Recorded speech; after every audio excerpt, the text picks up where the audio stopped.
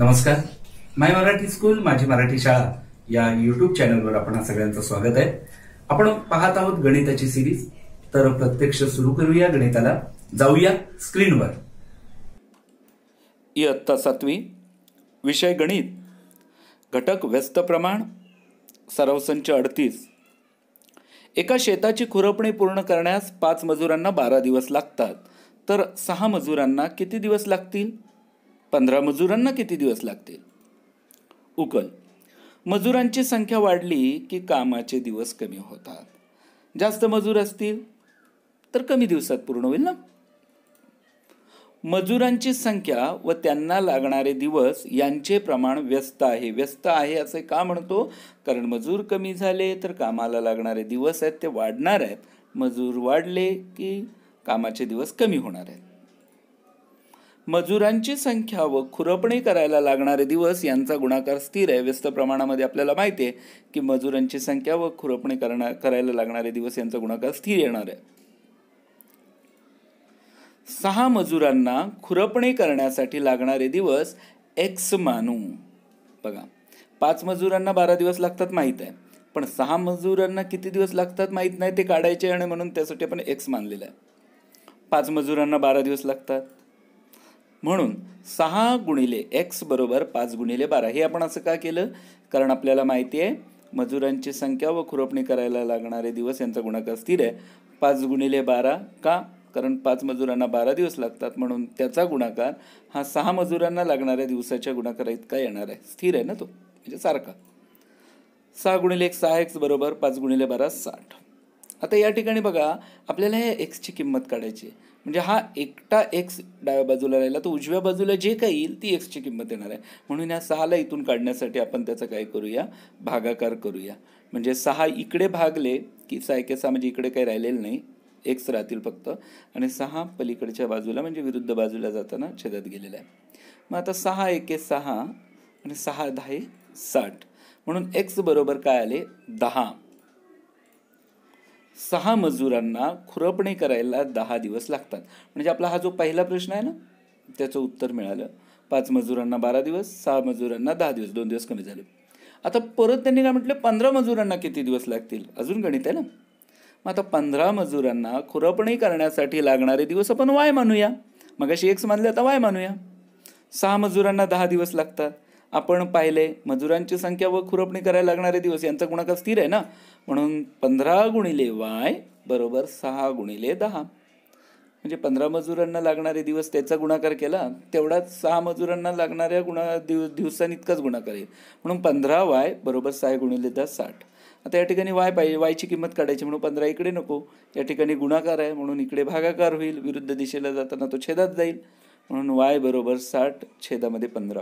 आता या ठिकाणी पंधरा आणि साठ हे एका पाड्यात आहेत. पंधराच्या पाड्यात साठ चौथे आहेत ना? पंधरा एके पंधरा पंधरा चोक साठ. म्हणजे वायची किंमत किती आली? चार. अर्थात हे चार काय आहेत? तर हे दिवस आहेत. पंधरा मजुरांना खुरपणी करायला चार दिवस लागतात. दुसरं गणित. मोहनरावांनी रोज चाळीस पाने याप्रमाणे एक पुस्तक वाचले. रोज चाळीस पानं वाचले तर ते पुस्तक दहा दिवसात वाचून पूर्ण होते. चाळीस पानांप्रमाणे.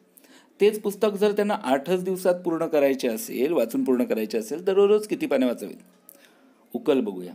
दिवसांची संख्या कमी झाली की दररोज वाचावयाच्या पानांची संख्या वाढेल. कमी दिवसात वाचायचं आहे तर पुस्तक? मग पानं जास्त वाचायला लागतील. दिवसांची संख्या व वाचलेली पानं यांचे प्रमाण व्यस्त आहे बरोबर आहे? सम प्रमाणात तर नाही आहे ना? दिवस वाढले की पानं कमी वाचून होणार. पानं जास्त वाचून झाले की दिवस कमी होणार. दिवसांची संख्या व वाचलेली पाने यांचा गुणाकार स्थिर आहे. पुस्तक आठ दिवसात वाचून पूर्ण करण्यासाठी रोज एक्स पाने वाचावी लागतील असे मानू. मग आता हा गुणाकार जो आहे ना रोज चाळीस पाने वाचली तर दहा दिवसात पुस्तक वाचून पूर्ण होते. म्हणजे याचा गुणाकार करायला लागेल ना आपल्याला. आठ गुणिले एक्स एक्स काय जेवढी पानं वाचायला लागणार आहेत ती. आणि आठ काय दिवस आहेत? त्याला गुणिले ब बरोबर करून काय आहे? उज उजव्या बाजूला दहा. दहा काय आहे? दिवस आहेत. चाळीस काय पान आहेत? दहा गुणिले चाळीस. म्हणजे आठ गुणिले एक्स आपल्याला आठ एक्स येते. दहा गुणिले चाळीस चारशे येते. आता या ठिकाणी एक्सची किंमत काढायची आहे म्हणून हा आठ जो आहे तो विरुद्ध दिशेला जाताना छेदात जाईल. कारण या ठिकाणी गुणाकार आहे. म्हणून एक्स बरोबर चारशे अंश छेद आठ. आठनी चारशेला भाग जातो. हां? बघूया आपण भाग लावू आठ एके आठ आठ पंचेचाळीस आणि शून्य पन्नास. म्हणजे एक्स बरोबर पन्नास.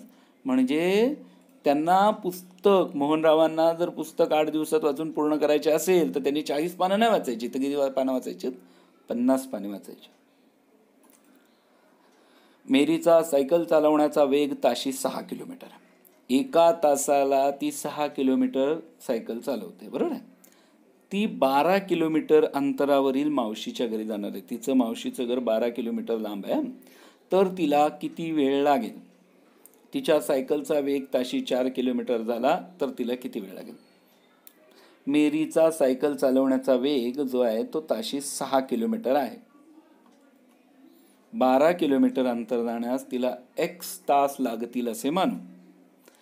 वेग गुणिले वेळ बरोबर अंतर. कापलेलं अंतर जर काढायचं असेल तर तुम्हाला वेगाचा आणि वेळेचा गुणाकार करायला लागेल. आता तिचा वेग किती आहे? तासाला सहा आहे म्हणून सहा लिहिले. वेळ किती लागणार आहे? माहीत नाही आहे म्हणून एक्स घेतला. आणि अंतर किती कापायचं आहे तिला? मावशीच्या घरा इतकं. किती आहे? बारा. म्हणून सहा गुणिले एक्स बरोबर बारा. म्हणजे सहा एक्स बरोबर बारा ना? सहा एक्स बरोबर बारा. आता एक्सची किंमत काढायची म्हणजे सहा जो आहे तो डाव्या बाजूला नको तो उजव्या बाजूला हवा. म्हणून तो छेदात गेला. म्हणून एक्स बरोबर बारा अंश छेद सहा सहा एके सहा साय दुने बारा. म्हणजे एक्स बरोबर दोन. ताशी सहा किलोमीटर वेगाने बारा किलोमीटर अंतर जाण्यास तिला दोन तास लागतील. हे आपल्याला उत्तर मिळालेलं आहे. बरोबर आहे? आता परत त्यांनी आणखीन प्रश्नात प्रश्नात प्रश्न आहे. तिच्या सायकलचा वेग ताशी चार किलोमीटर झाला तर तिला किती वेळ लागेल? वेग आणि ठराविक अंतर कापण्यासाठी लागणारा वेळ हे व्यस्त प्रमाणात असतात. वेग चार किलोमीटर झाल्यास लागणारा वेळ वाय मानू? समजा चार किलोमीटरनी जर ती गेली तासाला तर किती वेळ लागेल ते वाय मानू?